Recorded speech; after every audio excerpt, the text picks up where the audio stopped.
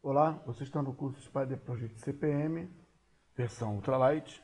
Meu nome é Marcos Posso, eu vou conduzir essa verificação que não substitui a verificação do seu tutor, Carlos. Esse projeto aqui é do Carlos Renato. Nós estamos focando aqui o pedido do exercício E2, que tem que fazer uma estrutura organizacional. E quando a gente olha aqui o passo 2, a gente vê várias atividades e alguma coisa que vem aqui. Eu vou, a princípio, lembrar que as atividades elas não foram classificadas, mas elas podem ser dadas e aí elas acabam caindo aqui dentro. Como é que eu faria isso? Deixa eu verificar. É AP, já estamos com ela aqui, mas o nome me parece que não é esse. É estrutura organizacional. Vamos ver aqui. Estrutura. EAP por estrutura organizacional. EAP. Colocou o número 2 aqui, eu vou nas propriedades retirar esse número, confirmar e vou atualizar por código. Está atualizado, eu vou apertar OK. Eu apertar OK, eu mando ela reconstruir. As atividades que estavam ainda não classificadas por pertencerem aos pacotes, agora elas estão classificadas, pertencem ao pacote, e nós temos a estruturação feita em três níveis, não mais pelos produtos, e sim agora os, as coisas a serem produzidas estão dentro da estrutura funcional. Clicando em passo 2, eu precisaria ver passo 2, estrutura do trabalho. Passo 2, estrutura do trabalho, org. Vamos ver aqui. Não tem alternativa aqui, tá? Como se fosse o pedido é passo 2, org. Copio esse nome e para acertar isso, eu preciso vir aqui em configurações ou layout e colocar aqui o nome Ctrl V. Dessa maneira, a partir de agora, o nome que aparece é estrutura do trabalho org. Assim, fica completa a visão prevista. No passo 2, nós temos uma conjunto de informações. Qual é o conjunto de informações que é pedido no passo 2? Está dentro de uma tabela, vamos ver aqui. Passo 2, alternativa. Então acho que tinha que ter uma alternativa escrito isso. Deixa eu ver aqui. Eu devo ter apagado. Estrutura, passo 2, passo 2. Então nós temos um passo 2 estrutura organizacional, estrutura do trabalho. Esse item deve ser criado num layout chamado. E, no entanto, aqui aparece alternativa.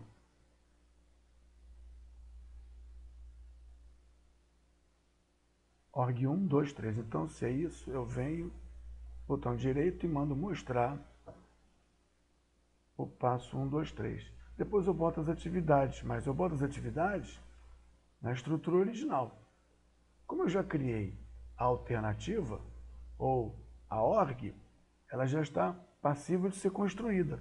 Eu posso ver estrutura do trabalho e dentro as atividades,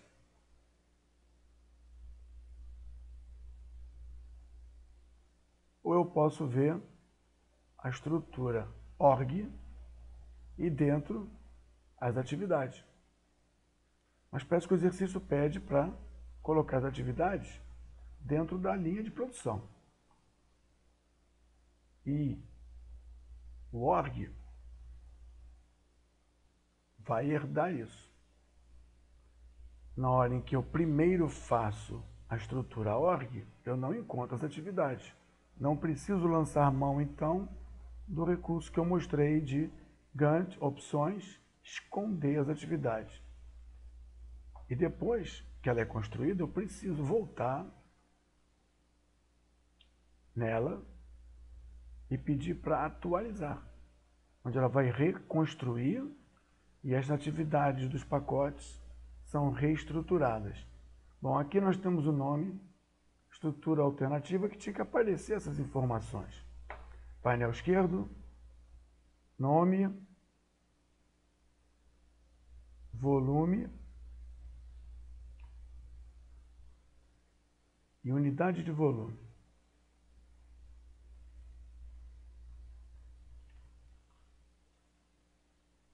E no painel direito, não tenho isso, eu teria org 1, 2, 3, que são os campos personalizados.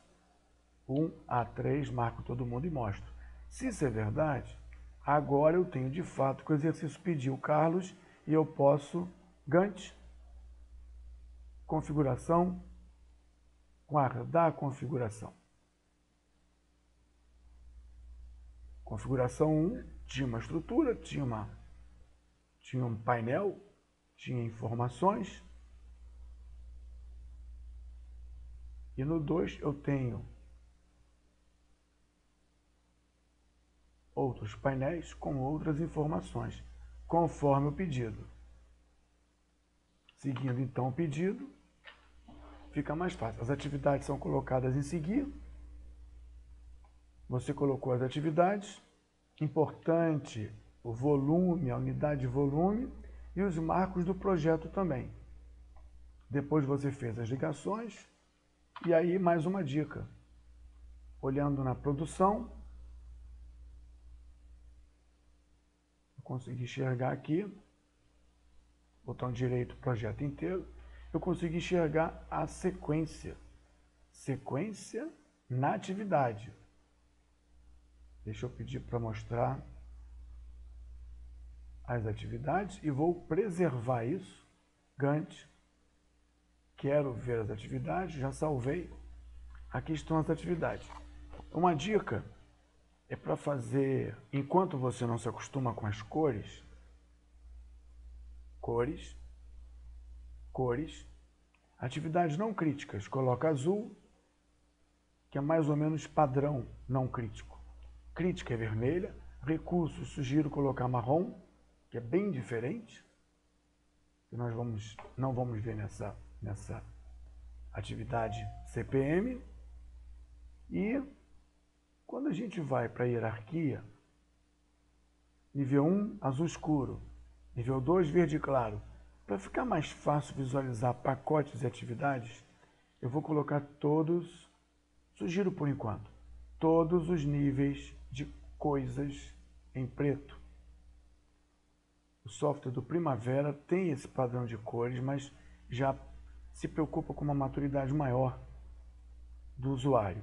Eu vou colocar até o quinto nível em preto e assim quando você olhar para o seu diagrama de rede, você vai ver azul não crítico, vermelho crítico, isso vai ser discutido mais tarde, e tudo que for pacote ou produto vai ficar mais fácil de entender. Eu vejo aqui, e é claro que o seu tutor deve falar isso, que você não deu nome para as atividades. Mas vejo aqui que nós temos uma atividade sem marcos de início e fim. Onde estão os marcos de início e fim? Eu vou pedir para mostrar todas as atividades e também os marcos de projeto. Ah, agora eu estou vendo, eu não tinha mostrado. Se eu pedir para mostrar aí, quero ver sempre opções, desculpa, Gantt, configuração, salvar no projeto. Se eu pedir no Gantt opções para não ver os pacotes, o que eu vou acabar vendo é o conjunto de atividades, seus volumes de produção e automaticamente aqui eu consigo ver a rede, rede de trabalho. Você colocou aqui algumas atividades que são do tipo Hammock, e seu projeto dura dois anos quase. Os vermelhos mostram uma linha de produção que define o caminho mais longo e os azuis os caminhos de apoio de produção. Isso é interessante porque é, mais na frente você vai ver que se essa linha de produção existe, e define o caminho mais comprido, nós poderíamos dizer que esse caminho não pode ser atrapalhado.